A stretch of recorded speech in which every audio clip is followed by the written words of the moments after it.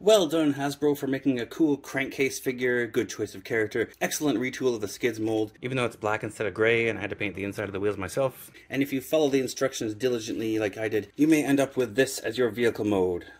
Uh. Hmm, wait a second. There seems to be a missing step in the instructions. How did we get from here to here? The missing step, and I actually recommend you do it pretty early on in the transformation, maybe the second step after lifting this, is this hinge in the waist here, right here, this pin. You need to collapse it back so that you can bring the legs forward like this. So it should look like that. Come on, Hasbro. Does anybody care about quality there while you're raising your prices?